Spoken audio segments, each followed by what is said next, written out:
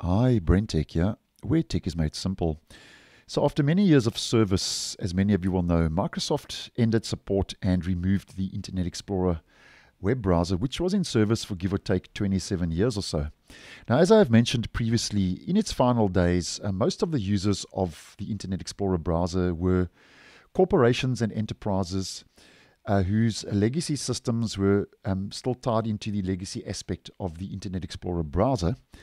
And um, when Microsoft did finally pull the plug um, on Internet Explorer, they obviously wanted um, the users of the browser to migrate over to the new Chromium based Microsoft Edge web browser.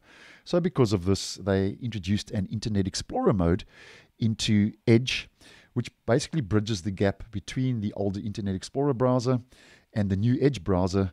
So, um, it's used, as many of you will know, to visit older websites and um, legacy websites that aren't supported by the more modern um, browsers like the new Chromium based Microsoft Edge web browser. So that's just a brief background on uh, the Internet Explorer browser and Internet Explorer mode.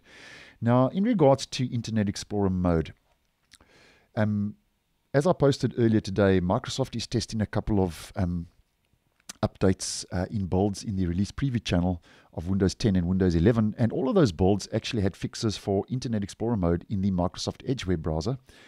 And this drew my attention to the fact, and because of this, um, that uh, this may be a good time to show you how you can actually enable and use Internet Explorer mode in Microsoft Edge in case you didn't know.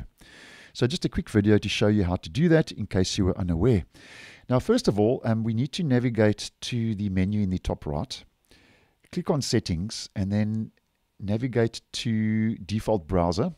And on the default browser page, here you get Internet Explorer compatibility, and we need to configure a couple of settings if it hasn't done so already. Let Internet Explorer open sites in Microsoft Edge. The recommended is always, but I would suggest uh, just select incompatible sites only. At least select incompatible sites only and allow sites to be reloaded in Internet Explorer mode.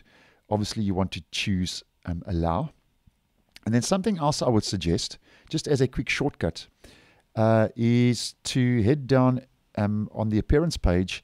And if it hasn't done so already, uh, toggle on Internet Explorer mode button. Make sure that's on, and that will place the uh, the Internet Explorer mode button in the top right of the toolbar for easy access if you are visiting older websites on a regular basis.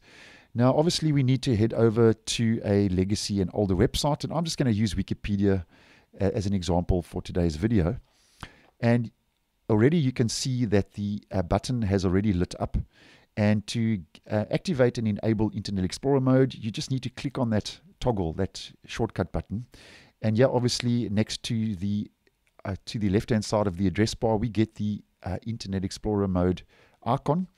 And in the menu, this page is open in Internet Explorer mode. And here we get a couple of options. You can open this page in compatibility view, uh, which speaks for itself. And you can open this page in Internet Explorer mode next time. So if you are visiting a certain website or web page uh, regularly and um, it is an older website and you need uh, to view it uh, in Internet Explorer mode, you can just keep that on. So the next time you visit that page, you don't have to go through all the steps as we have gone through today uh, in this in this video. And obviously, um, uh, Microsoft does want you to open websites uh, using Microsoft Edge, but I'm just using Wikipedia as an example of a legacy website. And that's how you enable Internet Explorer mode uh, in the Edge web browser which, as I says, uh, mentioned earlier, is bridging the gap between the older Internet Explorer browser and the new Chromium based Edge um, and just helps you to view um, older websites and legacy websites if you are prone to visiting those um, on a regular basis. So, thanks for watching, and I will see you in the next one.